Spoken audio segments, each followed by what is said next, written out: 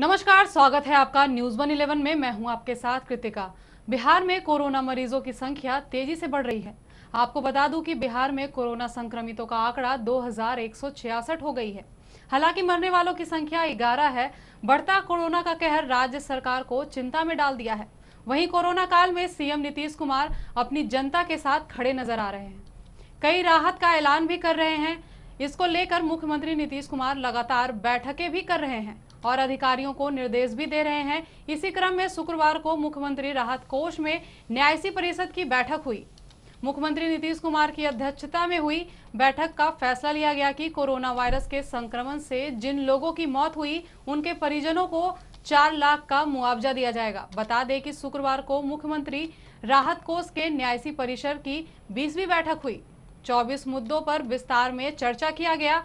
इसी दौरान बिहार सरकार ने मुख्यमंत्री विशेष सहायता योजना के तहत अब तक बीस दशमलव अट्ठाईस लाख प्रवासियों के खाते में एक एक हज़ार रुपए भेजे जाने की बात कही।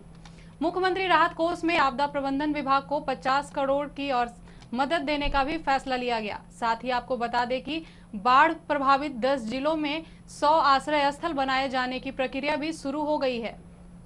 वहीं कालाजार उन्मूलन के लिए प्रत्येक पीड़ित को छियासठ सौ दिए जा रहे हैं और साथ ही मुक्त कराए जा रहे हैं। हर बाल श्रमिक को पुनर्वास के लिए पच्चीस हज़ार की मदद भी दी जा रही है। बता दें कि बिहार में शुक्रवार को कोरोना से एक नए मरीज़ मिले हैं। इसके साथ ही राज्य में कोरोना संक्रमितों की संख्या दो हज़ार एक सौ छियासठ हो गई है। कोरोना संक्रमण के मामले में तेज़ी से बढ़ते आंकड़े आधार पर अब बिहार पंजाब को पीछे छोड़ते हुए बिहार कोरोना वायरस से प्रभावित टॉप राज्यों में आ गया है।